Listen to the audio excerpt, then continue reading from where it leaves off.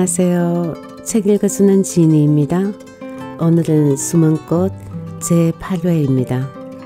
어머니의 반대로 결국 알렌 부부는 고향으로 돌아가지 못하고 뉴욕으로 떠납니다. 그곳에서 알렌은 직장을 얻고 빈민 아파트를 월세로 얻어 결혼 생활을 시작했는데요. 그렇게 순탄하지만은 않습니다. 그리고 요시에는 아이를 임신했지만 남편에게도 그 누구에게도 알리지 못한 채 고독한 생활을 하며 깊은 상념에 빠집니다.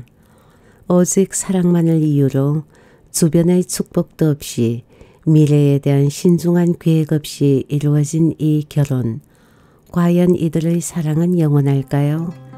오늘도 책과 함께 여유로운 시간 되시기 바랍니다.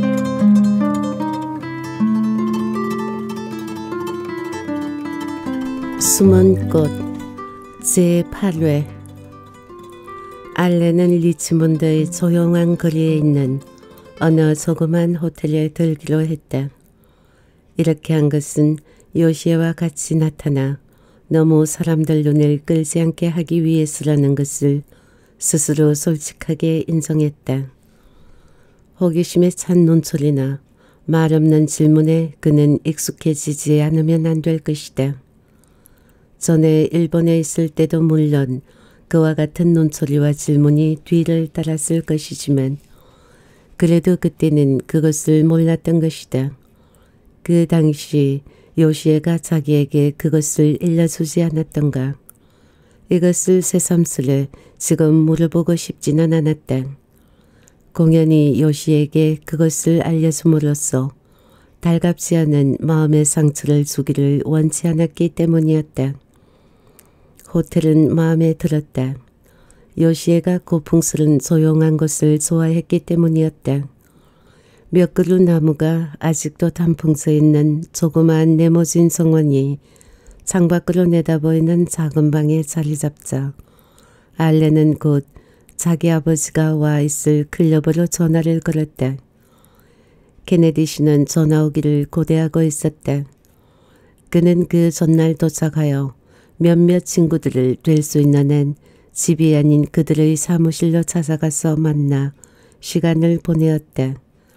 그 친구들은 모두 한가로워 보였고 유식한 케네디 씨를 그들은 각기 반겨 맞아 주었다.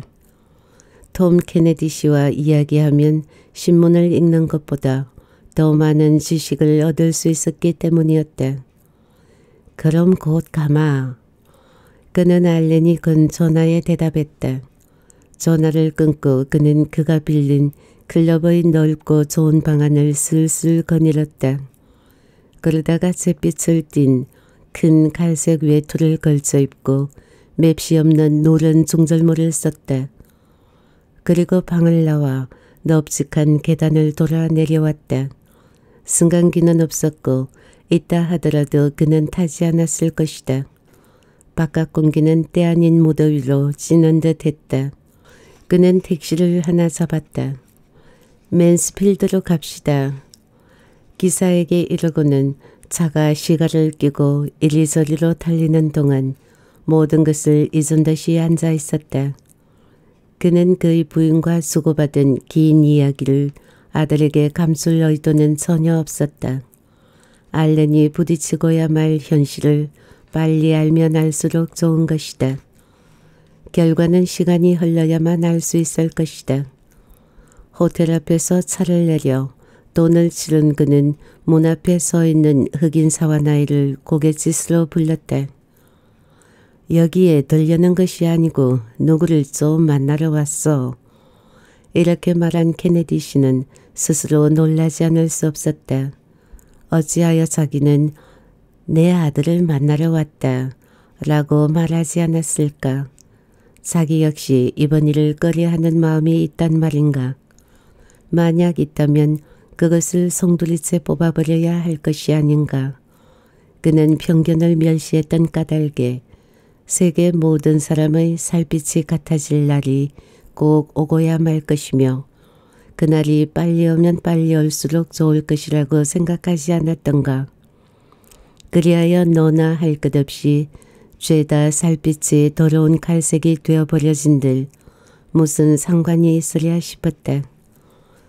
그렇게 되면 한 가지 말썽이 되어 있는 복잡한 인성 문제는 싹 없어질 것이 아닌가.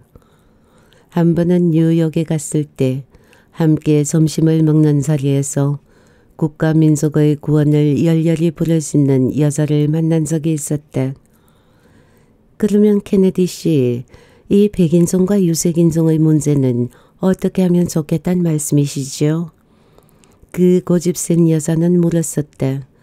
그 자리에는 자기를 아는 사람도 없었고 남쪽의 고향에서 멀리 떨어진 곳 낯선 사람들 사이에 끼어 있었으므로 그는 유난히 질긴 닭고기를 뜯어먹으며 아 참 그런 문제를 없애면 되잖소. 없애면 된단 말이요. 유쾌한 어조로 말하자 그 여자는 그에게 다시는 말을 붙이지 못했었다. 그 기억을 떠올리며 케네디 씨는 안내기로 걸어가서 헬쑥한 사무원에게 당부했다. 알렌 케네디 씨에게 아버지가 위층으로 올라가는 길이라고 전해주시오. 네. 사무원은 그를 노려보며 대답했다. 노려보건 말건 그는 그런 것은 아주 무관심했다. 승강기는 저쪽에 있습니다. 걸어 올라가겠소. 단 한층 위였다. 층계는 높직해서 올라가기가 쉬웠고 위층 복도에는 두터운 양탄자가 깔려 있었기 때문에 조금 더 그의 발자국 소리가 나지 않았다. 그는 알렌이 일러준 22호실 문에 천천히 노크를 했다. 그는 가는 여자 목소리가 새어나오는 것을 들었고 이어 아 우리 아버지시여 하는 아들의 음성을 들었다. 문은 곧 열렸다. 케네디 씨는 그 방에서 자기를 보고 빙그레 웃는 알렌밖에 보지 못했다. 요시에는 머리를 매만질러 침실로 들어갔어요. 잘 보이려고 아주 열심히지요. 어서 들어오세요 아버지. 여자들은 모두 머리에 까다로운 것 같은데 케네디 씨는 대답했다. 그는 방에 들어와 알렌이 외투를 벗기고 모자와 단장을 받아들 때까지 가만히 서 있었다. 그리고는 가장 편해 보이는 의자에 앉아서 그 작은 방을 한번 둘러보았다. 오래 지체해서는 안 되겠지만 담배 붙일 만한 시간은 충분히 남아 있었다. 내 부인이 들어오기 전에 하는 말이다만 너희 어머니는 마음을 잡지 못하고 있다. 내 부인 앞에서는 그런 이야기를 차마 할 수 없으니 너하고 단둘이 있으면 좀 의논해 보자꾸나. 낙심한 듯이 엄숙해진 아버지 얼굴을 대하자 알레는 꼼짝도 안 하고 있던 자리에 그대로 서 있었다. 어머니가 저희들이 집으로 오는 것을 싫어하신단 말씀이죠? 케네디 씨는 입장이 난처한 듯 외면을 하고 담배만 빨았다. 아마 그런 모양이다. 아마도 너희 어머니는 내 부인을 맞아들일 마음의 준비가 되어 있지 않은 것 같구나. 물론 너희 어머니는 언제나 너를 보면 반가이 맞을 것은 두말할 나위도 없지만 사실 나한테도 너에 대해서는 언제나 환영하노라고 말해달라더라. 내 방은 언제나 전 그대로 차려둘 것이고 내가 원한다면 언제라도 쓰게 해놓겠다더라. 잠깐만 기다리세요. 알레는 침실로 뛰어들어가서는 그 사이의 방문을 닫아버렸다. 오랜 침묵이 흘렀다. 케네디 씨는 담배를 피우며 기다리고 있었다. 길고 가는 담배 연기가 위로 올라갔다. 그는 알렌이 그녀에게 그가 이야기한 것을 말하지 않기를 바랬다. 그녀가 알게 되면 일은 처리하기가 까다로워질 것이기 때문이다. 그러나 신랑이 대개 그러하듯이 알렌도 아마 부인에게 모든 것을 이야기해야만 하는 것으로 알고 있는 모양이었다. 그렇게 해서는 안 된다는 것을 깨닫게 되려면 시간이 걸릴 것이고 아버지로서도 아들에게 이런 것을 가르칠 수는 없었다. 그는 그 자신이 부인과 같이 보낸 괴로웠던 지난 밤을 회상했다. 그는 부인에게 자기가 리치몬드로 알렌과 알렌의 신부를 만나러 간다는 사실을 이야기했다. 그랬더니 부인은 고맙다는 말을 하기는커녕 그의 탓이기나 한 것처럼 몹시 나무랐던 것이다. 그래서 그는 부인에게 따졌다. 우리는 최선을 다해서 이 일을 처리하지 않으면 안 되잖소. 그러지 않으면 누가 손해보는지 알기나 하오? 당신하고 나뿐이란 말이오.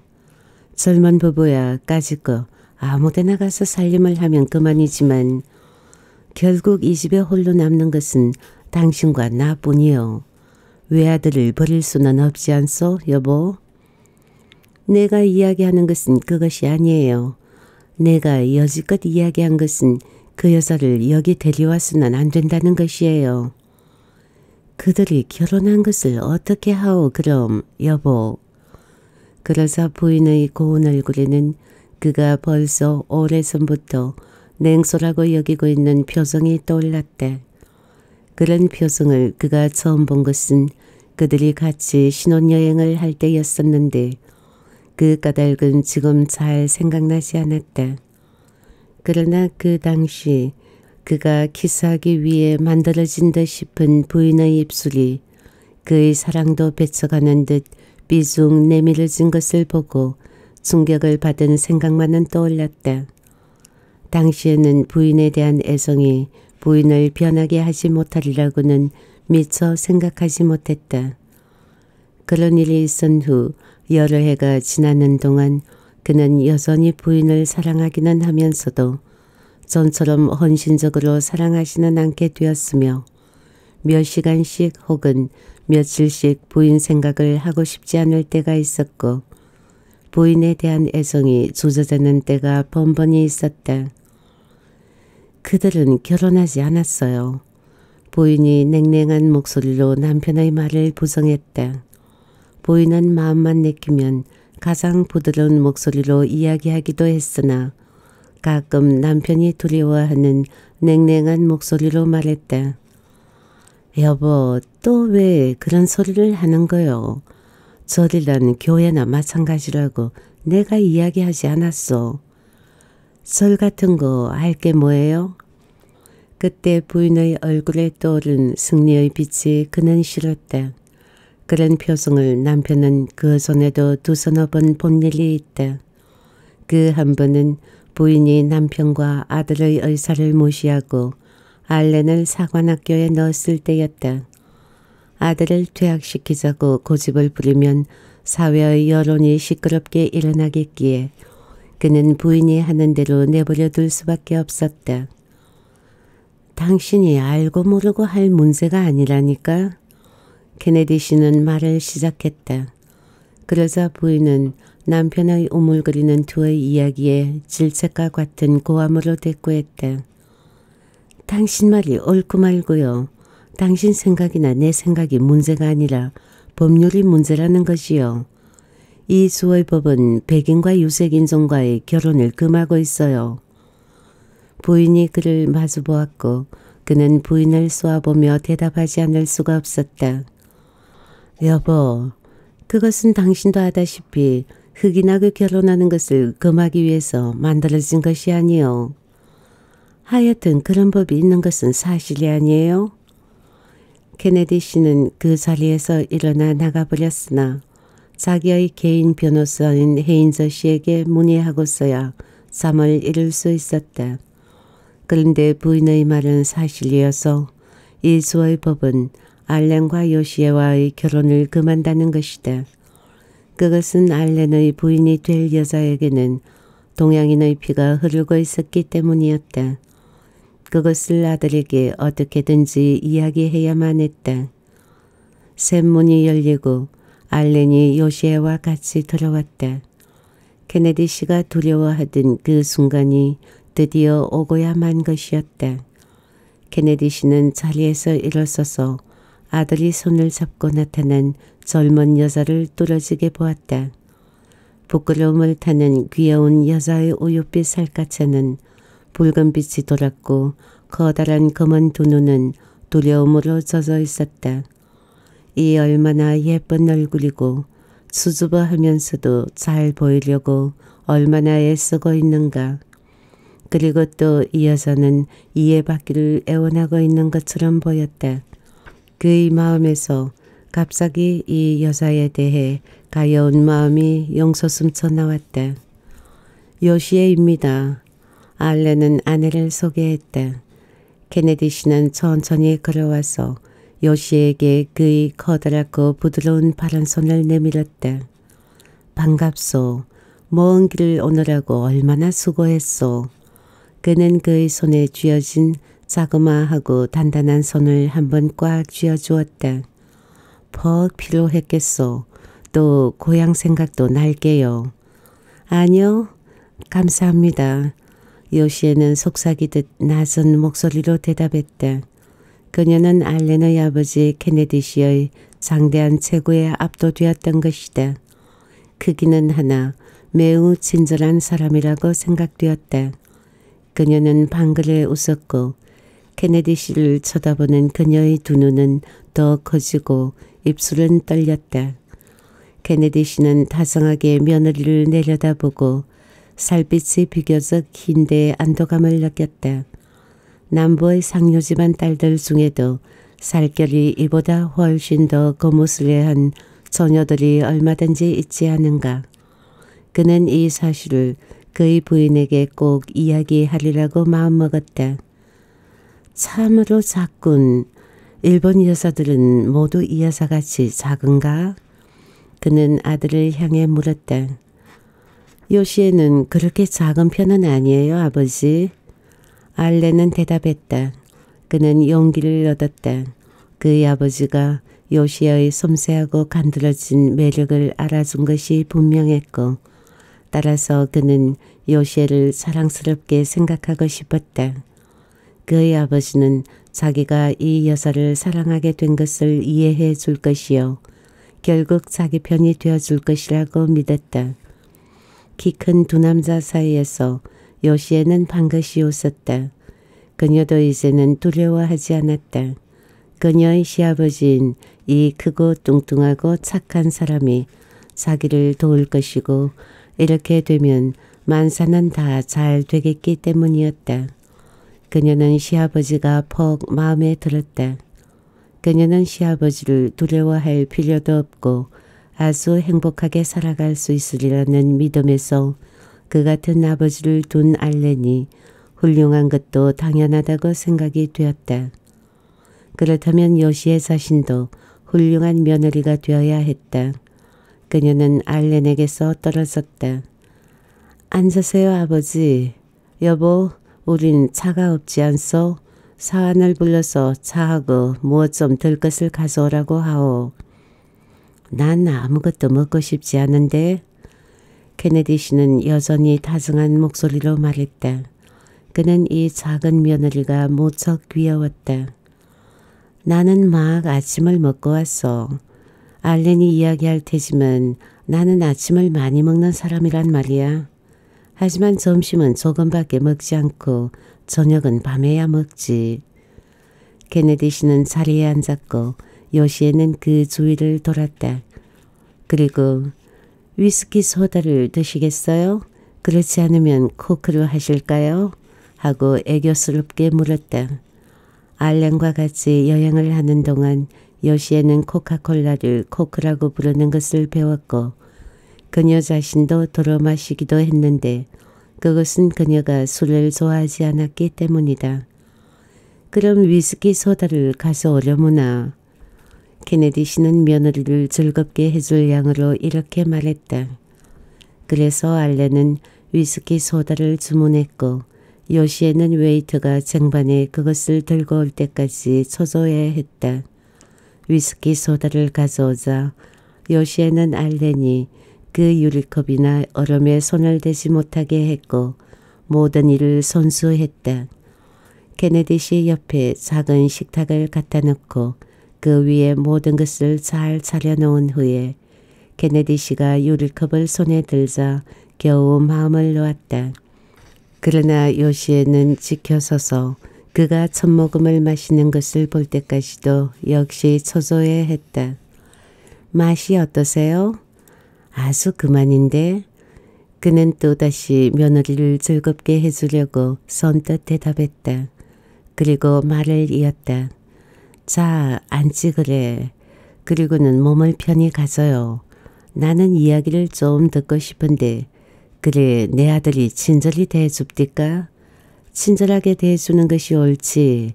암 그렇고 말고. 여보 앉아요. 그때 알렌이 일렀다. 요시는 말없이 곧 앉았다. 아직 긴장이 풀리지 않는 그녀의 우아한 몸은 두 남자를 번갈아 보았다. 늘 이처럼 너를 위해주면 사람 버리기 알맞겠구나. 이렇게 하는 것이 여자가 해야만 하는 의무라고 일본 사람들은 생각하고 있어요. 참 신기한 사람들이군. 불현듯 그는 정신이 번쩍 들었다. 오랫동안의 그의 습관은 그로 하여금 슬픈 일이나 어려운 일이나 귀찮은 일은 잘 잊어버리게 했었고 따라서 그는 잠시 동안이나마 당면한 문제를 잊어버리고 있었던 것이다. 그러나 물론 이 작은 여자를 앞에 놓고 이야기할 수는 없었다. 그런 이야기를 듣는다면 이 여자의 가슴은 찢어지는 듯 할 것이므로 들려주어서는 안 될 것이다. 우선 그와 알레는 어떻게 해야 할지 대책을 강구해야만 할 것이다. 그는 아들이 정당한 일을 하도록 도와주어야만 할 것이다. 그러나 어떤 것이 진실로 정당한 일이라고 할 수 있단 말인가. 케네디 씨가 침울한 얼굴을 하자 요시에는 바로 옆에 있는 그의 기분을 곧 알았다. 그래서 알렌을 쳐다보며 그녀는 다시 두려워지기 시작하는 것이었다. 요시에는 알렌이 일본말을 할 수 있으면 싶었다. 그러면 자기가 무슨 일을 잘못했는가 하고 일본말로 물어볼 수 있을 것이기 때문이었다. 알렌은 요시를 쳐다보지 않았다. 그러자 갑자기 요시에는 이 긴 침묵 가운데 알렌의 아버지가 자기를 보는 것도 아니요. 알렌을 보는 것도 아니요. 그의 유리컵과 발밑에 있는 양탄자와 그리고 유리창을 슬픈 눈으로 보고 있는 것을 알아채고 그 이상 참을 수가 없었다. 그녀는 살며시 마루를 건너가서 알렌의 어깨에 손을 얹었다. 제 일에 무엇이 잘못되었는가요? 그녀는 속삭이는 소리로 물었다. 아니 그런 일은 없어. 다만 아버지가 나하고 단둘이 할 이야기가 있는 모양이시오. 그러니까 요시에 잠깐 딴 방에 가 있어 주지 않겠소? 알레는 천연스러운 목소리로 말했다. 요시에는 무엇인지 아주 언짢은 일이 있다는 것을 곧 알았으나 어린애처럼 순종했다. 그녀는 침실문으로 걸어가 그것을 열고 안으로 들어가서 소리 없이 그 문을 닫았다.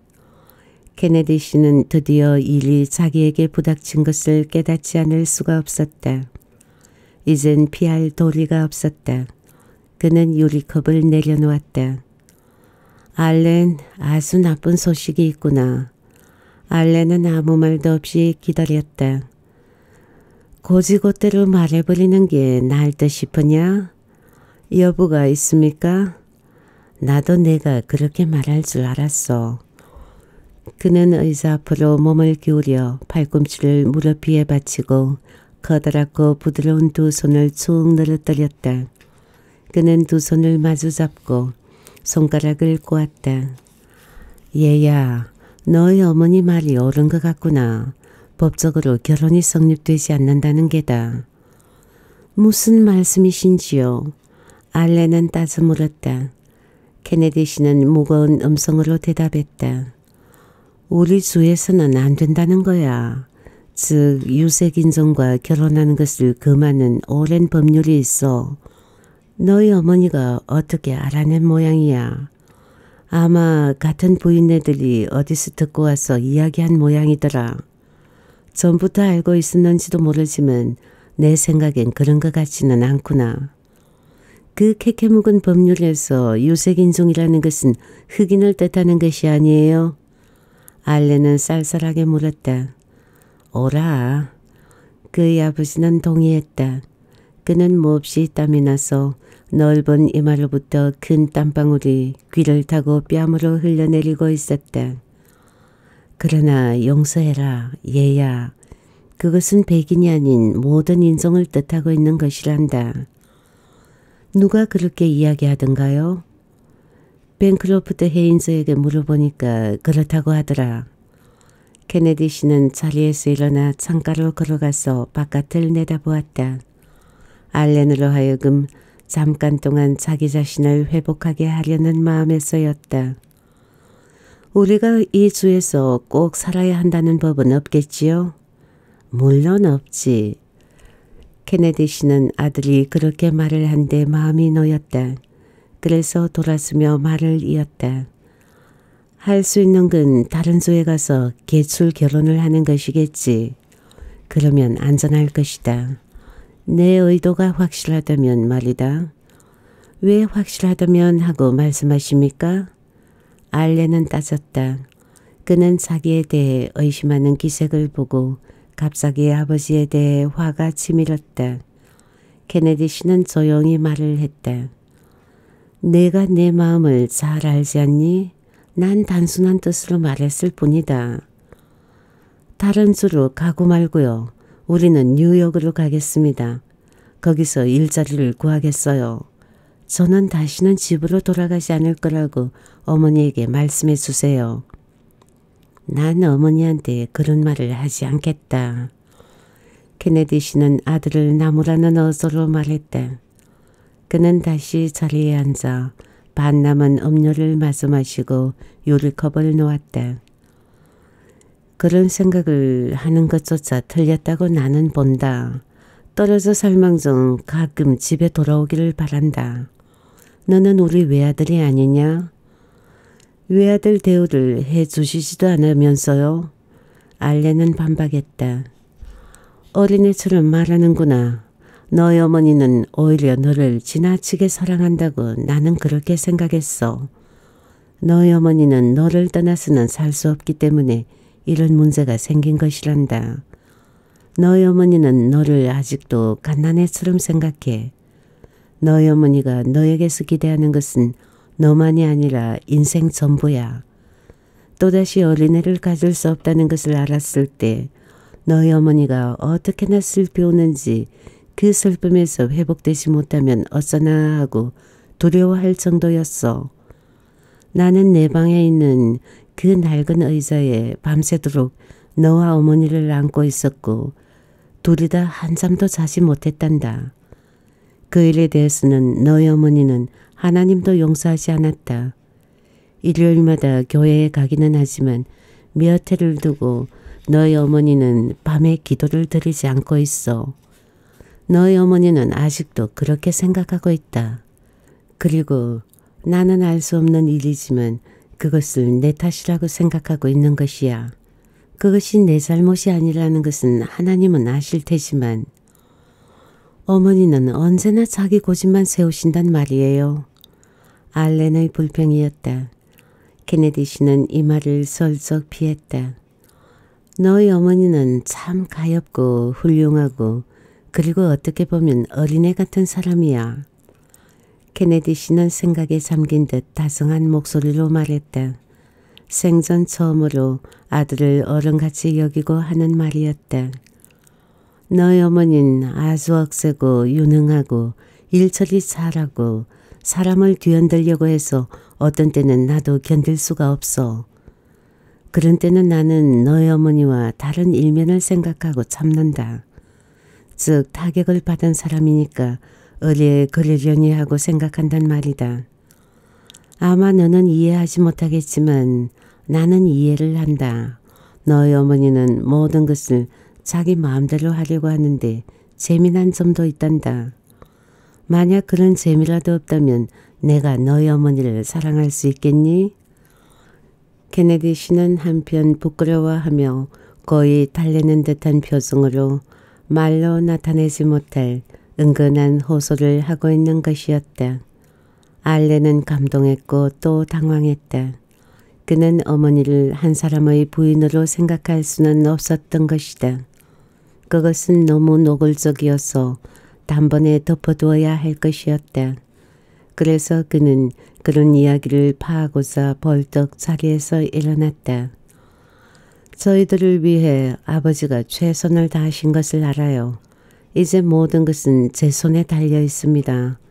오늘 점심은 저희들하고 같이 하세요. 아버님, 저희들은 오늘 오후에 떠날 생각입니다. 나중에 제 옷과 책을 보내달라고 사람을 보내겠어요. 그는 선언했다. 그러나 케네디 씨는 몹시 피곤했고 그 귀여운 여자를 다시 보고 싶지 않은 것 같이 느꼈다. 그래서 그는 이렇게 말했다. 오늘은 그냥 가보아야겠구나. 너희들이 자리 잡고 살게 되면 그때 만나러 가마. 우리가 자리 잡으면 알려드리겠어요. 알레는 말했다. 그들은 힘있게 악수를 했다. 알레는 자기의 머리를 커다랗고 구부정한 늙은 아버지의 어깨에 파묻고 싶은 충동을 간신히 참았다. 그 대신 그는 오히려 고개를 높이 쳐들고 단호한 힘찬 목소리로 말했다. 솔직히 모든 이야기를 해주셔서 감사합니다. 모든 일이 명백해졌고 제 처지도 잘 알았습니다.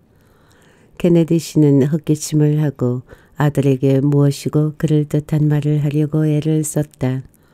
그러나 그는 그의 무릎이 떨리는 것을 느끼고 좀 누웠으면 싶었다.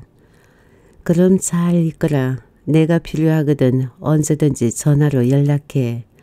나는 밤낮 한가하니까 그런 줄 알아라. 저도 잘 압니다. 그 귀에 익은 아버지의 말에는 가지가지 추억이 담겨 있었다. 헤어질 때마다 그의 아버지는 그에게 이 말을 던지곤 했었다. 그러나 실제로 그의 아버지가 그에게 해줄 수 있는 일은 없었다는 것을 잘 알고 있었다. 아버지를 배웅하고 문을 닫을 때까지 알렌의 얼굴에는 미소가 떠올라 있었다. 문을 닫자 그는 두 손으로 턱을 받치고 앉았다. 다른 방에선 요시에가 기다리고 있었다. 명예를 존중하는 그녀는 알렌 부자가 하는 이야기를 엿듣지는 않았을 것이다. 그러나 무엇인가 주고받는 이야기가 자기에게 불리한 것이라는 짐작은 하고 있었다. 그녀는 호텔의 침실 한가운데 꼼짝도 하지 않고 서 있었다. 여행을 했을 뿐 아니라 의자에 앉아본 지도 오래고 마룻바닥에서 잔 지도 몇 해가 지나서 그런지 그녀는 몹시 피곤함을 느끼지 않을 수 없었다. 다리의 근육은 긴장으로 졸려 들어왔고 등은 침대의 푹신푹신한 요에 베겼던 탓인지 뻐근했다. 당황해 하지 않으려고 애썼고 그래서인지 전신이 노곤했다. 그녀와 알레는 얼마나 서로 상대방을 알고 있는지 몰랐다. 사랑의 이해가 따를 때 그 사랑은 무거운 짐이 지워지는 것이다. 요시의 자신의 사랑은 너무 강했지만 알렌 역시 그러한지는 의문이었다. 물론 그녀는 여지껏 그렇게 생각해왔고 지금도 그렇게 믿고 있는 것이 사실이다. 그녀는 옆방의 문이 닫히는 소리를 들었으나 알렌이 자기를 부르지 않았으므로 침실과 그 방 사이의 문을 가만히 열고 안을 들여다보았다. 알렌은 두 손에 턱을 고이고 앉아 있었다. 어떤 두려운 서러움이 그에게 안겨진 것일까. 알렌, 알렌은 그의 부인이 거기에 있었다는 것을 잊어버리고 있었던 것처럼 깜짝 놀라 얼굴에서 두 손을 떼었다. 알렌, 웬일이에요? 요시에는 소리를 질렀다. 그리고는 재빨리 들어와 남편 곁에 무릎을 꿇었다. 말해줘요, 알렌. 어떻게 된 일이에요? 알렌은 부끄러워 아무 말도 하지 못했다.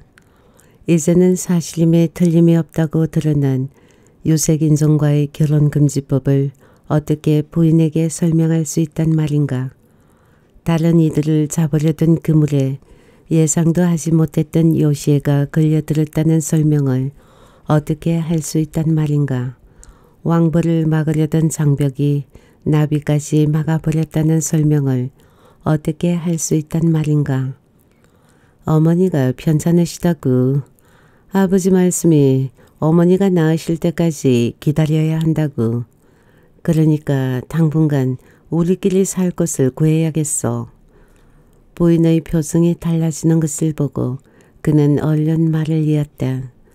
왜 알잖아 피티싱? 이 피티싱은 알렌이 장난스럽게 사랑하는 요시에게 붙인 별명입니다. 왜 알잖아 피티싱? 미국에 쓰는 젊은이들이 부모 슬하에서 살지 않는다고. 젊은이들은 그것을 좋아하는데 늙은이들도 차차 그것을 좋아하게 되리라고 나는 생각해. 아마 크리스마스까지는 우리가 함께 잠깐 들리러 집에 갈 수 있을게요. 그동안에는 그는 두 손을 호주머니에 찌른 채 일어서서 방 안을 왔다 갔다 했다. 그리고 요시에가 무릎을 꿇은 채 조용한 흰 얼굴과 무표정한 검은 두 눈으로 남편을 바라보고 있는 동안 알레는 말을 계속했다. 뉴욕으로 갑시다. 온갖 종류의 사람들이 함께 살고 있는 대도시로 말이요. 피티싱도 하다시피 우리 고향은 너무 좁은 고장이고 거기 사람들은 모두들 몇 대씩 살아온 사람들이요. 한 열두 집이나 될까? 그리고 세대마다 거기에 하인들이 딸리고 그저 그렇지? 아마 그 중에서 일본 사람을 본 사람은 아무도 없을 것이요. 그런데 제가 들어간단 말씀이군요. 요시에는 말했다. 알레는 자기의 말이 너무 지나치지 않았나 싶었다. 그는 부인 앞에 서서 자기를 쳐다보는 부인의 얼굴을 내려다보며 웃어 보이려고 했다. 여보, 당신 아버님이 나에 대해 어떻게 느끼셨는지 기억하지 않아? 하지만 미국에서도요? 미국에서도 그렇지 뭐요. 미국에서는 더 그렇소. 로스앤젤레스에서 다 클 때까지 살았으면 기억함직한데 생각나지 않는단 말이요. 그래? 알렌의 말투는 날카로웠다. 요시에도 기억하고 있었다. 그녀는 고개를 푹 수그렸다. 길고 고든 속눈썹을 타고 눈물이 흘러내렸다. 나는 달라진 줄로만 알았어요.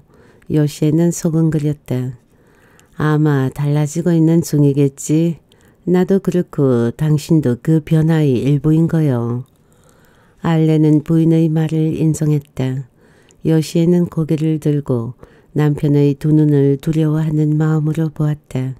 그리고 나는 정말 외로워요. 하고 작은 소리로 말했다. 떠도는 두 별이 그들 자신의 우주를 만들려고 찾아다니는 것이요, 피티싱. 만들 수 있고 말고. 알레는 부인의 손을 잡아 일으켰다. 제발 무릎을 꿇지 마오, 케네디 부인. 나는 이 이상 더 당신을 피티싱이라곤 부르지 않겠소. 그것은 미럴 여행 때 이름이지. 이제 미럴 여행은 끝나고 생활이 시작되는 거요. 나는 당신을 조 케네디라고 부르려. 좋아. 미국 이름 같지 않소? 그는 홧김에 담대했었고 반항심으로 용기가 솟아올랐던 것이다. 늙은이들과 과거는 다 지옥으로 떨어져라 하고 그는 생각했다. 그는 군대에서 나와 뉴욕으로 가서 일자리를 구할 결심이었다. 훌륭한 남편이자 살림꾼이 되리라. 그리고 좋은 아버지가 그의 생각이 여기에 이르자 움찔하고 놀라지 않을 수 없었다. 알수 없는 노릇이었다.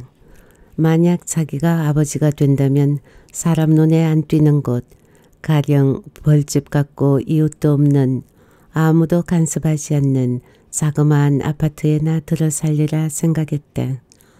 자, 저 가요. 짐을 꾸리고 북쪽으로 떠나요. 그는 정열 때문이 아니라 분노에 불타며 부인을 포옹했다. 표면상 변화는 쉬웠다. 알레는 그리 힘들이지 않고 어떤 주간지 잡지사에 일자리를 구할 수 있었다. 보증 서류가 아주 훌륭한 데다가 그의 인상은 좋았고 또 경험도 있었던 터이다. 명예제대증도 보였고 월급은 강변가에 있는 조그만 아파트에 들어가 살기에 넉넉했다. 요시에는 친구를 사귀기까지 했다. 하나는 콜롬비아 대학생과 결혼한 중국 여자였고 또 한쪽은 교육과 아동 심리학을 연구하고 있는 일본인 부부였다. 그러나 요시에와 알렌 사이에는 변화가 일어났다. 요시에와 알렌은 전보다도 한층 더 정열적으로 결합되었고 더욱더 굳은 사랑으로 맺어져 있었으나 각자 비밀을 가진 외로운 생활을 하기 시작했다. 그리고 그들은 이 작고 조촐한 아파트가 천당처럼 보일 빈민구의 아들딸이 아니었다. 또한 그들은 아파트나 승강기와 조그만 테라스, 높고 연기에 끌어 실컷한 지붕을 지닌 그런 아파트에서 자라난 사람들도 아니었다. 그들은 넙직하고 풍부한 곳에서 자라난 것이다. 요시에는 현재의 조그만 부엌을 치우면서 장지문을 열면 방 건너 또 방이 보이는 교토에 있는 그녀의 넓은 집을 생각했다. 또 알레는 사방이 한 야드밖에 안 되는 옷장에 옷을 걸며 외아들인 자기가 법률상 마땅히 상속하게 될 커다란 기둥에 선 그의 집의 제 방들을 생각했다. 그들은 각각 몰래 정원이나 연못들을 생각했고 요시에는 자면서 몇천 마일 밖에 떨어져 있는 자기 집 정원의 작은 폭포 소리를 들었다. 폭포랑 연못이랑 종이 달린 문의 집이랑 도코노마의 보물들이 그녀의 뇌리에서 떠나지 않았다. 그것은 허망한 생활이었다.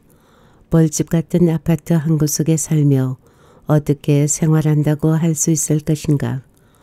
태아는 몰라도 살고 움직이고 느끼는 인간이라면 못 견딜 노릇이라고 요시에는 알렌에게는 감쪽같이 숨긴 채 자신의 은밀한 생활 속에서 생각하고 있었고 알렌은 알렌대로 남 모르는 그 자신의 꿈에 잠겨 있었다.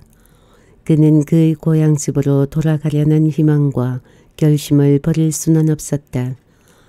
양친과 어린 시절을 보낸 자기 집에 대한 애정을 만족시킬 수 없어 그의 화는 너러만 같다. 그는 그가 사랑하는 그 집에서 사는 양친을 늘 생각했고 어머니보다는 아버지에 대해 더 화를 내었다. 남자는 고집하고 주장하여 여자에게 자기 의사를 강요해야 마땅할 것이고 그렇지 못한다면 그것은 남자로서 나약하다고밖에 생각되지 않았다. 그 자신은 부친하고는 아주 딴판인지 그것은 잘 알 수 없었다. 그는 너무 결백해서 어떤 남자의 것도 될 수 있는 매춘부를 즐길 수는 없으나 그래도 정복당한 국가의 여자로 인해 모든 남자가 달라진 것처럼 그 자신도 달라진 것은 사실이었다. 정복된 나라의 여자들로 하여금 굴복을 강요하는 것도 마땅하며 이는 전쟁의 최후 단계이자 개인적 승리의 완성이라고 생각하는 그런 사람들도 있었으나 이런 종류의 사람들에 속하지 않는다고 주장해온 알렌 자신도 역시 똑같은 사람인 것에 틀림없었던 것이다. 그는 아버지와는 달리 거만했고 또 고집이 세웠다. 알렌도 육체적으로 우월하고 체력으로 이겨온 세대의 한 사람이요. 남을 누르거나 지배하기를 싫어하는 아버지와는 퍽 달랐다. 이런 생각을 하고 있는 가운데 하루하루 알렌은 무엇이 적이기는 했지만 점점 고집스러워지고 강제가 심해지고 요시에 대해서까지도 무리한 것을 강요하게 되었다. 그래서 요시에는 자기가 하는 일이 왜 그렇게 자주 틀렸다고 하는지 영문을 모른 채 놀라지 않을 수 없었다. 그녀는 무슨 일이든 완전히 해야 한다는 주의를 가지고 있었기 때문에 옳고 바르게 하기 위해 애를 썼으며 그들의 안방 겸 식당으로 사용하는 방 한 구석 책상 위에 놓인 작은 항아리에 꽃을 꽂으며 가꾸는데 몇 시간씩 소비하기도 했다. 사소한 데까지도 많은 시간을 소비했지만 알렌이 회사에서 돌아올 때까지는 모든 것을 다 끝냈다. 심부름하는 아이도 없었다. 미국에는 하인이나 하녀를 가진 집이 퍽 드물다는 것을 아는 그녀는 그런 것을 두려고 하지도 않았다. 더구나 시간이 남아서 어떻게 보냈으면 좋을지도 몰랐다. 그녀는 겨울이 되어 공원에 산책을 할 수 없게 되면 학교에 다니겠다는 계획을 세웠다. 이 큰 도시에는 학교는 얼마든지 있었다. 그녀는 목록을 몇 개 구해 가지고는 남편이 밤늦게 돌아올 때면 기다리는 동안 그것들을 뒤적거렸다. 매주일 그렇게 늦게 돌아오는 밤이 있었다.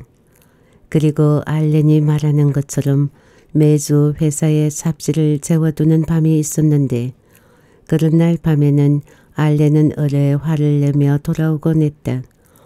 때로는 남편이 돌아오는 것은 새벽녘이 되기도 했으나 요시에는 언제나 기다리고 있었다.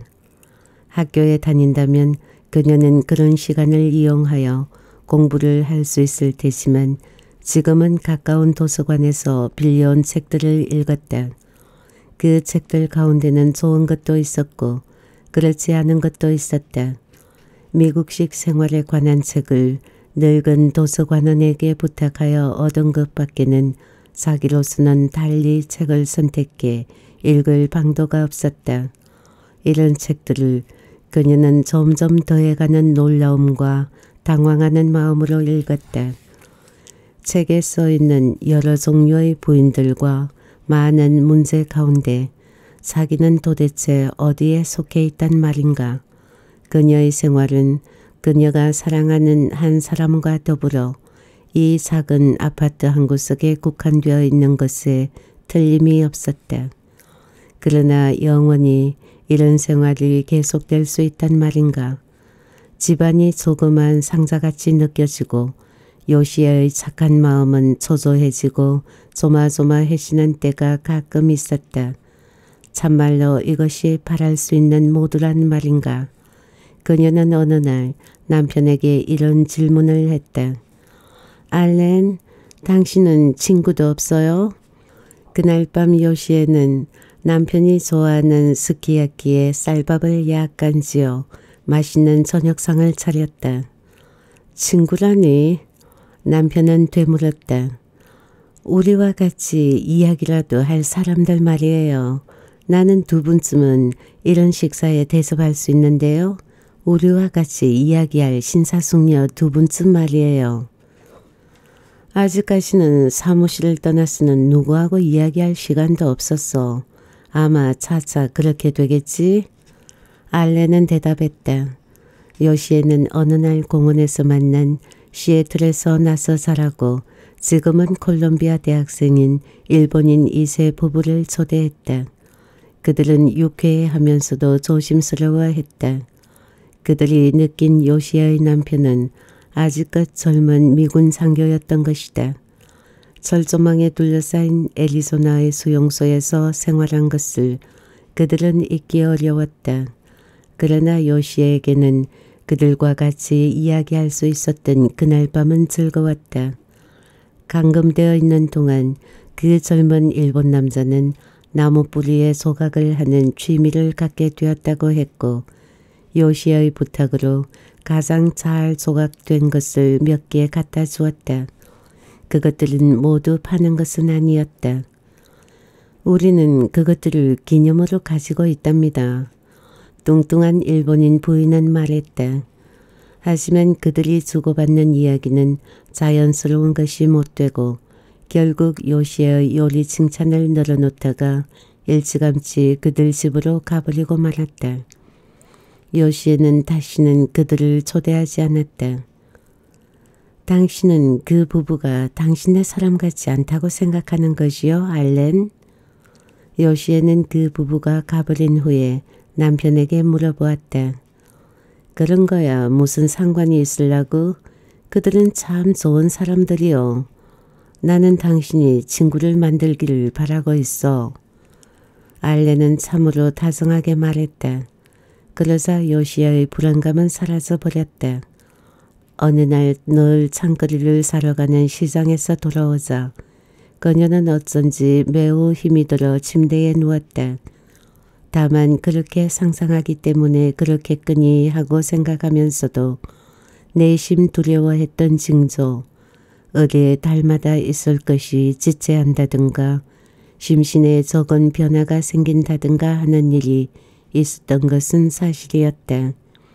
일본에 갔을 때 한 의사가 그녀에게 그녀가 어린 시절을 보낸 정든 미국을 떠날 때 받은 충격, 오랫동안 사귄 동무들과 또 눈에 익은 경치들과 뜻아닌 작별을 한 것, 그리고 일본으로 와서는 자기 나라 것이면서도 서먹서먹한 일본 풍습을 억지로라도 따라야 하는 필요성 등이 그녀의 정신이나 심정에 제약을 가했고 그것은 또 몸에도 영향을 준 것이라고 이야기한 적이 있었다. 몇 주일 전에 그녀는 임신을 하지는 않았는가 하고 의심을 하고 두려워했으며 어떻게 해서든지 임신을 막아보려고 했었다. 그것은 장차 낳을 아이가 차지하게 될 이 나쁜 가정 환경을 생각했기 때문이었다. 그들이 살고 있는 곳은 판자집 같을 뿐만 아니라 아이들이 나가 놀 뜰도 없었고 또 그녀는 공원에서 백인 여자들이 자기네 아이들을 검은빛 도는 아이들 근처에도 못 가게 막는 것을 보았던 것이다. 그러므로 그녀는 그녀의 어린애를 그 공원으로 데리고 가지는 않을 것이다. 참 어린애라니 안 돼, 안 된다고. 그녀는 중얼거렸다. 조용히 누워있던 그녀는 뱃속에서 깃털같이 가벼운 움직임을 느꼈다. 순간 그녀가 원치 않던 징조가 확실한 자리를 잡은 것을 깨달았다. 그녀는 몸 안에 새로운 생명이 움직이고 있는 것을 느낀 것이다. 그것은 그곳에 존재했으며 이미 시작되고 있었던 것이다. 때는 이미 늦었다. 어린애는 살아있었다. 공포에 사로잡힌 그녀는 꼼짝도 못하고 누워있었다. 이윽고 그녀는 몸을 뒤집어 베개에 얼굴을 파묻고 흑흑 흐느껴 울었다. 어머니가 울 때 뱃속의 아이가 그것을 알지 못하는 것은 다행한 일이다. 그 아이는 누가 워낙은 맑은 즐겁게 살기 시작할 것이고 어머니의 고민은 하등 그 아이의 알바가 아니다. 제 자신이 꾸며갈 새 세계를 위한 준비를 하며 그 아이는 욕심껏 자라고 태어나기 전의 깊은 잠을 잔다. 그 평화스러움과 망각 상태는 죽음이라는 마지막 잠에 비길 수 있을 것이다. 그 아이는 현명하게 홀로 따로 살고 있는 것이다. 그러나 나날이 그 아이는 조금씩 덜 자고 그 대신 더 깨어있고 다리를 뻗고 팔을 내서며 태어날 고비를 맞을 준비를 하며 영혼으로부터의 위대한 첫 이탈을 꾀하는 것이다.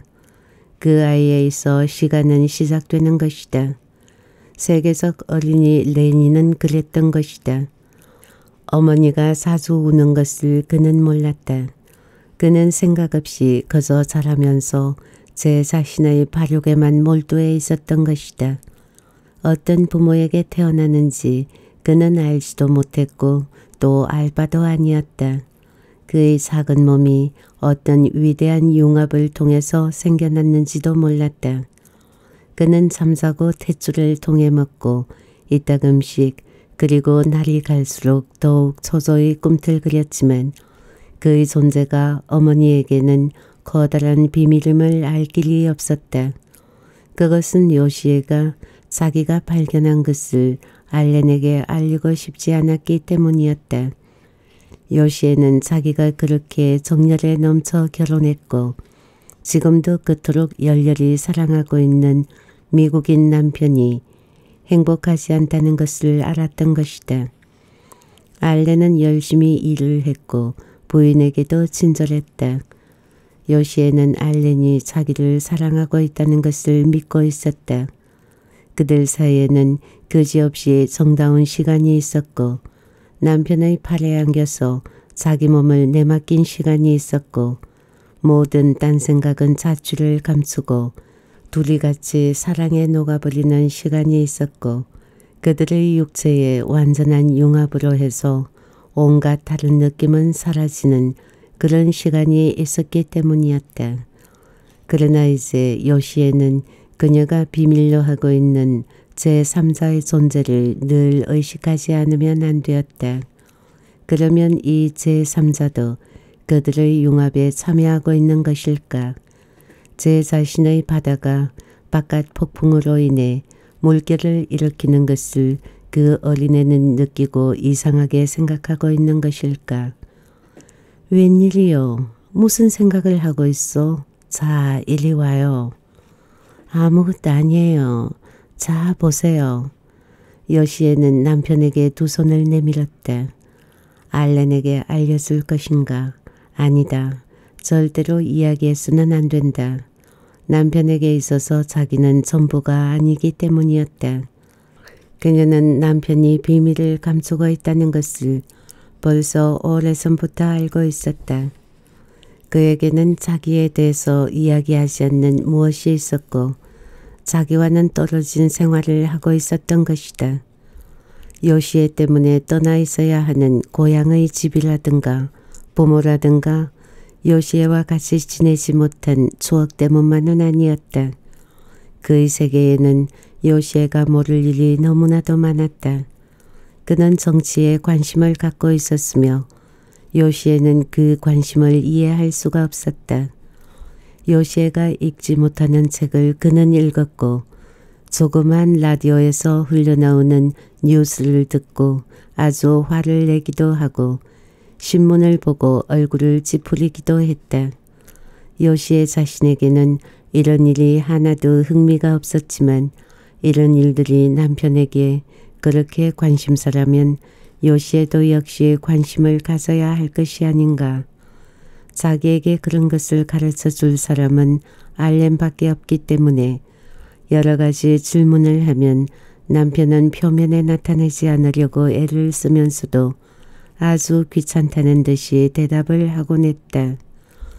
그러한 남편의 태도는 점점 더해가고 심해져 갔으며 그것은 무엇보다도 요시아의 가슴을 더 아프게 했다. 나에게 가르쳐 주기가 싫으신 모양이군요. 참다 못해 요시에는 어느 날 소리를 높여 남편에게 따졌다. 아니 그런 게 아니라 집에 오면 너무 고단해서. 그러나 요시에는 자기 말이 옳다는 것을 알고 있었다. 그녀가 자기 계획대로 할 수 있었다면 학교에 다님으로써 미국에 관해서 좀 더 배울 수 있었을는지도 몰랐다. 그러나 학교에 다닌다는 것은 이제는 문제가 되지 않았다. 어린애를 임신한 지금 그것은 부질없는 생각이었다. 애를 써보았지만 어린애를 막을 도리는 없었다. 일본 여자 동무와 언론에 보고 같이 의사한테 가보았지만 의사의 말에는 아기는 낳아야만 한다고 했다. 시기가 이미 늦었다는 것이다. 또한 그 의사는 그런 종류의 수술은 하지 않는다는 것이다. 그래서 요시에는 단념하고 이렇게 된 것을 오히려 잘 되었다고 생각했다. 낳기도 전에 그 어린애를 없애버린다는 것은 결코 옳지 못하기 때문이었다. 그 어린애가 세계적 아기가 되는 것은 어린애 자신의 잘못은 아니요. 그 어린애가 타고난 운명이었다. 가을이 지나고 초겨울이 닥쳐왔다. 요시에는 그녀의 비밀에 너무 시달린 나머지 몸이 여유였고 몇 번이나 하마터면 알렌에게 고백해 버릴 뻔했지만 끝내 아무 말도 하지 못하고 말았다. 말이 목까지 치밀어 올라왔으나 입 밖에 내지는 못했다. 알렌을 두려워해서가 아니었다. 사실 두려워하지도 않았다. 다만 그의 생활이 불안정하다는 것을 느꼈기 때문이었다. 심지어 이 조그만 아파트의 한 칸도 월세로 든 것이었다. 어떻게 한 달 한달 이런 새빵살이를 할 수 있을 것인가. 가까운 상내에 우리는 우리 집으로 갈 날이 올 것이요. 때가 오고야 말 것이란 말이요. 우리 어머니가 살아있는 동안은 우리가 가는 것을 거절할지 모르나 어머니도 돌아가실 날이 오고야 말 것이니까 그러나 살아계셔도 아마 거절하시지는 않을걸? 요시에는 이 말에 소스라치게 놀랐다. 여보, 어쩌면 부모님에 대해 그런 말씀을 하세요? 벌 받아요. 그러나 알레는 이상스러울 만큼 태연했다. 죽는다는 것은 자연스러운 것이요. 늙은이가 죽는다는 것은 좋은 일인 거요. 그들이 죽어야만 진보가 있을 수 있는 거요. 알렌, 그분은 당신 어머니가 아니세요? 요시에는 부드러운 손바닥으로 알렌의 입을 막았다. 알렌은 부인의 손을 뿌리치며 반박했다. 우리 어머니는 속이 좁은 여자요. 그 작은 동네에서 나서 자랐기 때문에 세상 만사가 변화하고 있다는 것을 알지도 못하고 또 알려고도 하지 않는 것이요. 당신도 그 작은 동네를 사랑하고 있으면서 뭘 그래요? 나도 그것을 알고 있어. 그렇기 때문에 내가 거기서 살지 못하도록 어머니가 막는 것은 용서할 수 없다는 게지. 나는 어머니가 돌아가시지 않기를 바래요. 나는 아무도 죽는 것을 원치 않아요. 남이 죽는 것을 원하는 것은 정말 무서운 일이에요. 요시에는 단호히 말했다. 알레는 더욱 이상한 말로 대꾸했다. 그건 당신이 아무도 죽여본 일이 없으니까 하는 말이지 여보. 난 사람을 죽이는 훈련을 받았어. 그건 어려울 거 없어. 우리 회사 편집국장 앞에 앉아서 그가 하는 수작을 듣고 있노라면 저놈을 어떻게 죽일 것인가 하는 생각을 참을 수 없게 되는 때가 종종 있단 말이요. 그를 적이라고 가성할 때 그의 큰 몸집에 있는 약점이 환하게 보이거든. 또 나는 내 몸을 어떻게 방어해야 할 것인가를 잘 알고 있어. 요 목이라든가 이 갈비뼈 밑이라든가 하는 급소를 방어할 줄 안단 말이요. 총금이 그 편집국장의 비계살 속에 푹 들여박히는 것을 상상해 보는 거요. 요시에는 더해가는 공포에 사로잡혀 꼼짝도 않고 남편을 응시하고 있었다. 조그만 연두빛 앞 치마를 허리에 두른 그녀는 손에 들고 닦고 있던 접시를 꽉 쥐었다. 알레는 소리를 내어 웃었다. 걱정 말아요, 조. 내가 그를 성싶어 거저 내가 받은 훈련의 일부를 말한 것 뿐이지. 죽음이 어째서 나에게는 하나도 무서운 것이 못 된다는 것인지 이야기하려 한 것뿐이라오. 요시에는 대답하지 않았다. 그녀는 수도가로 돌아가서 뜨거운 비눗물로 다시금 접시를 씻기 시작했다. 알렌이 자기 어머니를 사랑하는 것은 두말할 것도 없었다. 알렌이 어머니를 사랑하지 않는다면 그렇게까지 화를 내지는 않았을 것이기 때문이다. 내가 나가버려야 해. 나 때문에 저희는 자기가 가장 사랑하는 모든 것을 못 갖는 거야. 요시에는 자책하는 마음으로 혼자 생각했다. 그러나 어떻게 나갈 수 있단 말인가. 샌프란시스코의 은행에 저금되어 있는 약간의 돈은 있었지만 갈 곳이 막연했다. 아버지한테 편지를 내면 돈이야 더 보내줄지도 모르지만 아버지는 그때 다시는 집으로 돌아오지 말라고 하지 않았던가. 또 설사 일본에 있는 친정으로 돌아간들 무슨 살 재미가 있을 것이며 더구나 어린애, 그녀의 어린애를 자기 외에 누가 원할 것인가. 이 어린애와 그녀의 아버지가 같은 집에서 산다는 것은 불가능한 일이 아닐 수 없었다. 그렇게 되면 요시의 자신은 그들 사이에서 완충 역할을 하지 않으면 안 될 것이다. 그녀는 알렌과 같이 생긴 작은 아이를 눈앞에 그려보았다. 그녀는 백인의 피는 어느 인종보다도 우세하여 숨길 수 없다고 들었으므로 필경 그 아기도 알렌을 닮았을 것이라 생각했다. 그러므로 그녀의 어린애가 일본에 있게 된다면 모두들 머리가 검고 살빛이 누른 그런 사람들 사이에서 행복하게 자랄 수 있을런지 의문이 아닐 수 없었다. 그곳 일본에서 그녀의 어린애가 불행할 것이 틀림이 없다면 다른 사람들이 다 그녀의 어린애와 같은 이곳에 있어야만 할 것이다. 그러하거늘 그녀는 어린애 가진 몸으로 어떻게 이곳을 떠날 수 있단 말인가. 요시에는 이곳에 와서 사귄 친한 일본인들과 만나는 것도 이제는 점점 싫어져서 그들에게서 멀어갔다. 밤낮으로 자기 심중에 일어나고 있는 생각에 대해 그 여자들에게 이야기할 수는 없었다. 그래서 그녀는 몸이 아주 불편해서 퍽 오래 쉬어야겠다는 구실을 만들었다. 그녀와 친한 일본인 부부도 학교 때문에 바빴으므로 점차 요시에는 아무도 만나지 않게 되었다. 그러던 어느 날 알렌에게서 전화가 왔다. 그의 어린 시절의 동무인 신디아를 집으로 데리고 오겠다는 것이었다. 그녀는 사무실로 자기를 찾아왔으며 또 요시에를 만나게 해달라고 부탁하더라고 했다. 그래서 이날 밤 알렌은 신디아를 데리고 오기로 했으니 스키야키를 잘 만들어 대접하도록 해달라는 것이었다. 전화를 통해 들려오는 남편의 음성은 아주 즐거웠다. 남편의 이런 목소리는 몇 달 만에 처음 들었으므로 요시에는 마음이 흐뭇했다.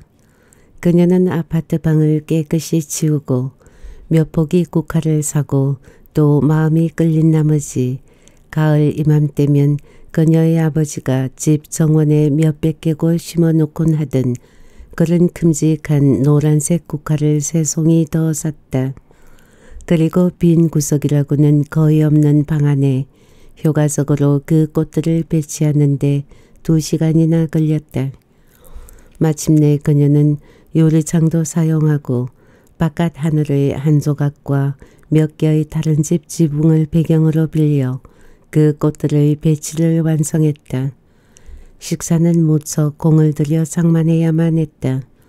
밥이 너무 질지 않도록 흰 전분을 없애려고 쌀을 몇 번이나 잃었다.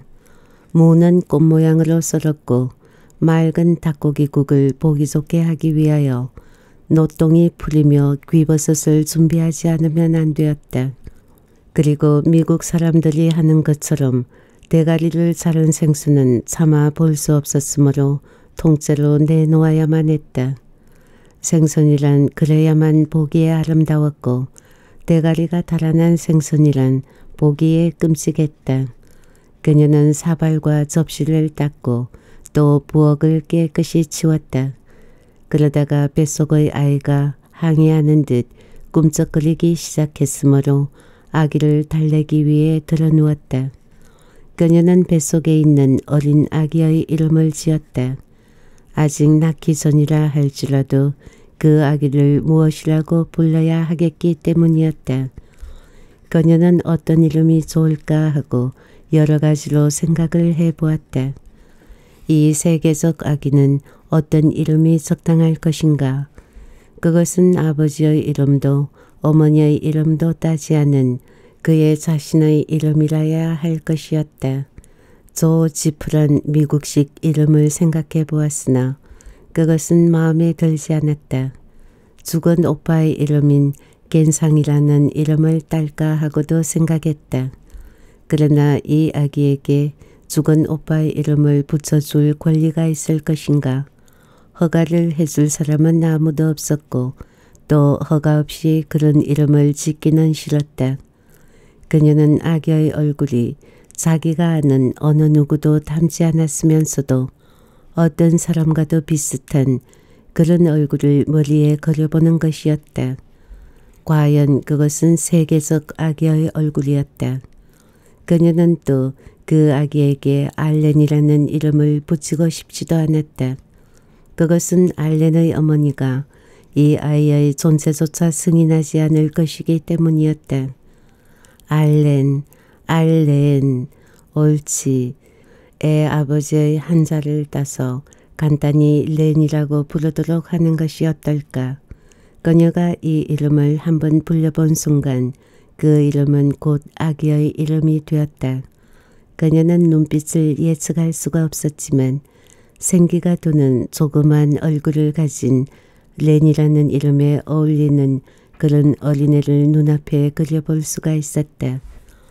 이렇게 이름은 아기의 것으로 확정되었고 그녀는 뱃속의 어린애를 렌이라고 부르게 되었다. 요시에가 아파트 안을 다니거나 먼지를 털고 청소를 하고 또 스키야키를 만들기 위해 오랫동안 서서 채소를 썰 때 뱃속의 아기는 참지 못하고 자주 꿈틀거렸다. 그러자 요시에는 사랑스러운 목소리로 나무라는 것이었다. 레니야, 난 앉을 수도 있긴 해. 하지만 난 채소를 썰 때 앉아서 하는 여자를 본 적이 없단다. 우리는 언제나 서서 한단다. 그러니까 제발 좀 가만히 있어다오. 그러나 레니는 말을 들으려 하지 않았으므로 요시에는 누워서 쉬지 않으면 안 되었다. 신디아란 여자는 알렌이 아직 모르고 있는 것을 눈치채지나 않을까. 그녀는 자기 편을 들어줄 것인가 또는 적으로 나타날 것인가. 신디아를 본 순간 요시에는 이 여자가 자기 편이 되어줄 것이라는 것을 알았다. 완전한 금발이고 아주 우아한 키 큰 아름다운 여자가 알렌과 같이 방 안으로 들어왔고 요시에는 감탄하는 마음과 겸손한 태도로 그녀를 쳐다보았다. 알렌이 결혼했어야 할 여자는 바로 이 여자인 것이었다. 요시에는 순간적으로 그것을 깨달았고 동시에 알렌 어머니의 마음을 완전히 이해할 수가 있었다. 신디아야말로 알렌의 부인이 되었어야 할 것이었다.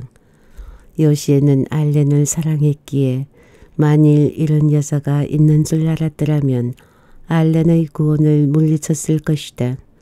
말문이 막힌 채로 요시에는 손만 내밀었다. 그러자 신디아는 두 손으로 그것을 잡았다. 참 만나고 싶었어요. 신디아는 크고 다정한 목소리로 말문을 열었다. 나는 알렌을 어렸을 때부터 잘 알고 있어요. 우리는 남매간이나 다름없어요. 알렌도 당신에게 그렇게 말했기를 바래요. 네, 말씀 많이 들었어요. 요시에는 대답했다. 그녀는 망설였다. 새파란 눈동자, 보드랍고 희디흰 살결, 맵신하는 입술을 가진 이 뛰어난 미인으로부터 시선을 돌릴 수가 없었다. 신디야 모자 좀 벗지? 알렌이 일렀다. 그는 그녀에게 되는 대로 대하면서도 여간 반가워하는 것이 아니었다. 신디야 편히 해요. 옹색해도 우리 집이 아니요. 하면서 그의 부인을 향해 말했다. 요시에 왜 잠자고 있는 거요? 어? 전 참 놀랬어요. 요시에는 맥없이 중얼거렸다. 무엇에 그렇게 놀랐다는 거요? 너무나 예뻐서요. 나는 이렇게 예쁜 줄 몰랐어요. 당신도 그 말은 하지 않으셨고요. 요시에는 더 한풀 꺾여 말했다. 알렌과 신디아는 이 말에 서로 이해하는 즐거움에 빛나는 웃음을 웃었다. 참 애교가 그만이시군요. 신디아는 마음속에서 우러나서 말했다. 알렌, 부인이 저렇게 애교가 있으시다고 왜 말 안 했어요? 당신이 죽을 둥살둥 하는 것도 무리가 아니군요. 부인을 내 꽃무늬 자켓에 핀으로 꽂아 보았으면 좋겠네요. 여시에는 따라 웃으며 신디아에 대한 애정을 느꼈다. 키가 후리후리하고 친절하고 아름다운 신디아를 알게 된 것이 여간 기쁘지가 않았다. 어서 앉으세요. 그녀는 겨우 체면을 차리며 신디아에게 의자를 권했다. 그리고 애교스럽게 다시 말했다. 차를 갖다 드리겠어요? 알렌이 오늘 저녁에는 모두 일본식으로 하라고 그랬어요. 이해하세요? 요시에는 이렇게 말하고 머리를 한번 수그리고 방을 나와 조그만 부엌으로 들어가는 문을 닫았다. 숨을 돌리기 위해 그녀는 동그란 의자에 앉았다. 레니. 그녀는 아직 낳지 않은 어린애를 조용히 속으로 꾸짖었다. 날뛰지 말어. 앞치마가 덜어 가리긴 하지만 다는 가리지 못한단다. 너는 오늘 저녁에 나서서는 안 되는 거야. 엄마를 도와주어야 해. 알겠어? 요시의 마음이 가라앉아 뱃속아기도 잠잠해졌다. 그녀는 다시 일어서서 차를 만들었다. 닫힌 문 건너방도 역시 고요했다. 말소리는 들려오나 뭐라고 하는지는 알 수 없었다. 그들은 자기 앞에서는 이야기할 수 없는 집안 사정이나 알렌의 어머니에 대한 이야기를 주고받고 있는지도 몰랐다.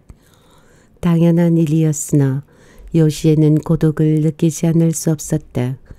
그래서 그들이 마음껏 이야기할 수 있도록 차를 준비하는데도 일부러 시간을 끌었다.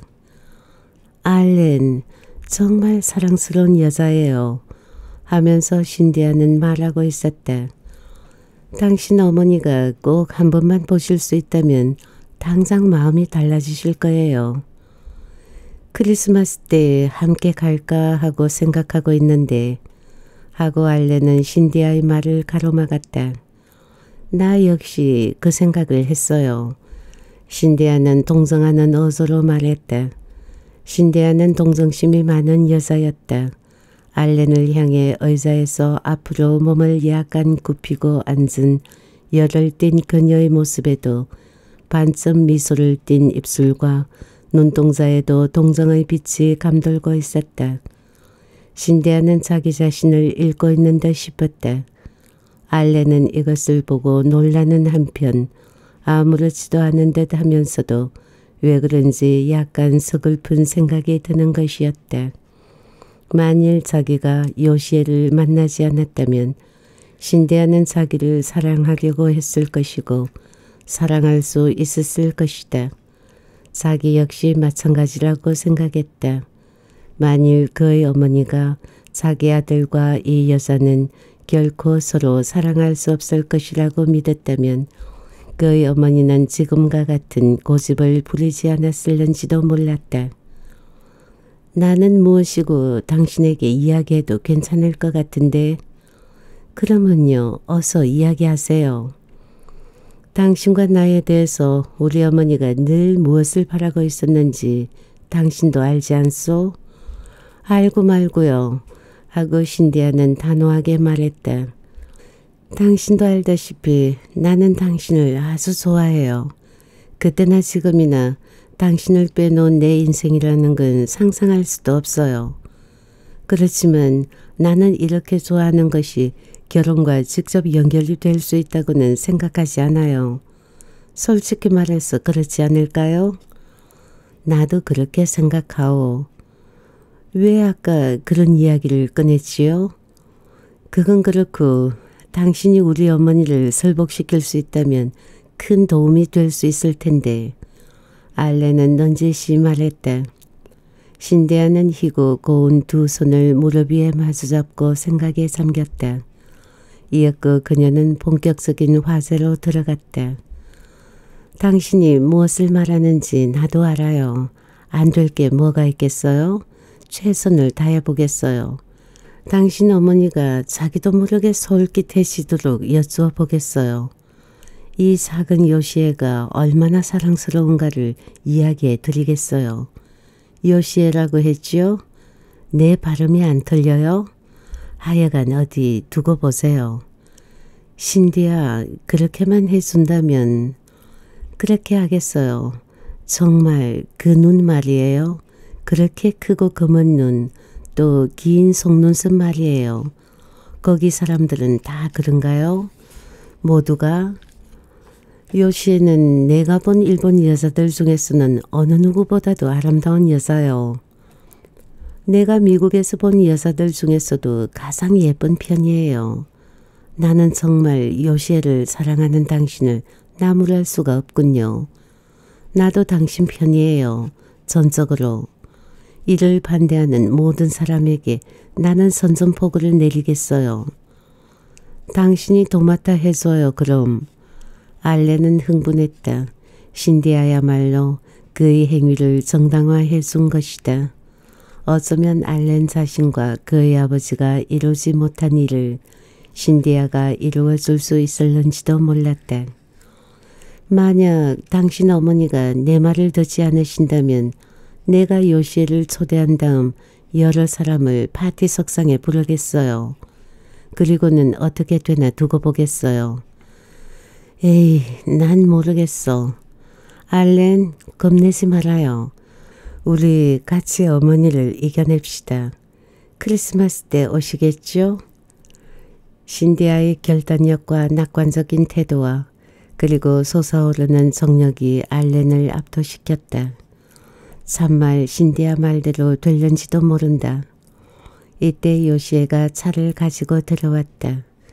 신디아는 일찍이 듣고 또 읽고 했어도 이해할 수 없었던 다도에 관해 물어보기 시작했다. 그러나 요시에는 이번에는 조금도 겁을 내지 않고 설명하는 데 정신을 팔았다.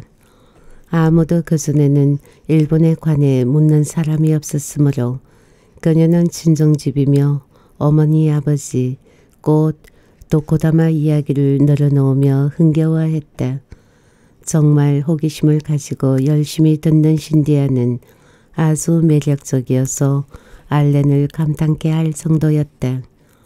아무도 물어보는 이가 없었다고 요시에가 이야기했을 때 알레는 그 말의 뜻을 알았다. 아닌 게 아니라 미국 사람들은 묻지를 않는다. 그들은 남에게 이야기를 해주기는 하지만 묻지는 않는다. 물어보고 싶은 생각이 그들 마음에 떠오르지 않기 때문일 것이다. 요시에는 남편의 존재를 아주 잊어버린 듯 다만 신디아를 향해 형에 겨워 이야기하고 있었다. 그의 부인은 퍽 고독했던 모양이었다. 알레는 부인을 물끄러미 바라보며 앉아 있었다. 새삼스럽게 부인이 사랑스러워지고 가끔 너무 냉정했던 자기가 후회되었다. 자기가 저지른 일에 대한 의심에 찬 고민을 요시에는 알고 있지는 않을까. 하여튼 신디아는 그들 두 사람을 도울 수 있을 것이다. 일이 잘 성사될지도 모른다. 아니 꼭 잘 되어야 할 것이다. 신디아의 출연이 풍겨놓은 향기는 그녀가 떠난 뒤에도 사라지지 않았다. 그녀가 지닌 진실성은 알렌의 마음에 온정을 일으켰고 몇 줄 만에 처음으로 거의 겸손한 태도로 요시에를 대하게 되었다. 당신은 참 훌륭했어. 스키야키는 진미였어. 신디아가 꽃을 아름답다고 했을 때 난 아무도 당신처럼 이렇게 꽃을 만질 줄 아는 이는 없다고 했지. 여보, 신디아는 또 당신을 아주 예쁘다고 하던데. 그는 부인의 모습을 다시금 제대로 보게 되었다. 의심과 번뇌가 그의 눈을 흐리게 했던 것을 이제 그는 신디아의 눈을 통해 요시에를 보게 되었던 것이다. 작은 몸집, 조그마하고 세심히 움직이는 그 말쑥한 손, 모든 일에 열중하는 모양, 어린 고양이 같은 요시아의 매력이 다시금 알렌의 눈에 살아났다. 남은 것은 다만 시간 문제였다. 그의 어머니는 신디아가 하는 말을 믿게 될 것이다. 그들은 다시금 행복스럽다고 할 만큼 사이가 좋아졌다. 알렌이 어찌나 친절한지 요시에는 하마터면 레니 이야기를 할 뻔했다. 요시에는 또 알렌의 행복은 역시 그가 살아난 집과 고향과 부모를 떠나서는 있을 수 없다는 자신의 생각 이외에는 모든 것을 남편에게 이야기하고 싶었다. 요시에는 남편이 그런 것들과 떨어진 자기들만의 세계를 이룩할 때까지는 행복하게 될 자신이 서지 않았다. 알렌이 이것을 능히 할 수 있게 되었을 때, 즉 알렌이 그의 과거로부터 완전히 이탈하여 현실에 뿌리 박혀 있다고 확신할 수 있게 되었을 때, 그들이 지금 살고 있는 이 상자 같은 집을 떠나 알렌이 자기 집이라고 생각할 수 있는 정원이 딸린 조촐한 집으로 이사가게 될 때 비로소 요시에는 모든 것을 알렌에게 이야기할 생각이었다. 그러나 이런 모든 것이 적당한 시기에 일어날 수 있을 것인가? 나는 요즘 너무 많이 먹어요. 요시에는 있으려고 애를 쓰며 말했다. 여간 살이 쪄가고 있지 않아요. 여기 미국의 공기가 나에게는 너무나 좋은 탓인가 보아요. 구실을 꾸며대고 그녀의 부르는 배를 덮어보려고 했다. 그러나 언제까지 이렇게 할 수 있단 말인가. 신디아로부터 알렌에게 편지가 왔다. 그것은 문 옆 책상 위에 놓여 있었으나 요시에는 감히 그것을 뜯어볼 수가 없었다. 알렌과 신디아 사이에는 요시에가 중간에 끼지 못할 그 무엇이 있었으며 그것은 그들이 같이 한 오랜 어린 시절의 추억이었다. 요시에는 그것을 가로막을 아무런 권한도 없었다. 그녀는 신데아를 진심으로 믿었지만 그러나 그들 사이의 오랜 추억은 어쩔 수 없는 것이었다. 알렌이 집으로 돌아오자 그녀는 편지를 내주었다. 오늘 당신에게 온 거예요, 알렌. 알렌은 손채로 급히 겉봉을 뜯었다. 요시에는 남편의 눈이 우유빛 두터운 종이 위를 스쳐가는 것을 물끄러미 바라보고 있었다. 그것이 중대한 편지라는 것을 그녀는 남편의 얼굴에서 읽을 수 있었다. 알렌은 갑자기 그것을 구겨 휴지통에 던지고는 침실로 걸어갔다. 내가 보면 안 될까요?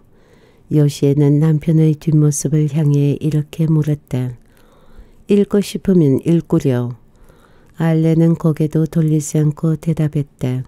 결국 그의 부인도 알아야만 할 일이라고 그는 입맛쓰게 생각했다. 요시에는 편지를 휴지통에서 꺼내어 조심스레 펼쳐 종이의 주름을 폈다. 미국에는 손으로 만든 종이는 없는 줄 알았는데 손으로 만든 것 같이 부드럽고 보기 좋은 편지지라고 그녀는 생각했다.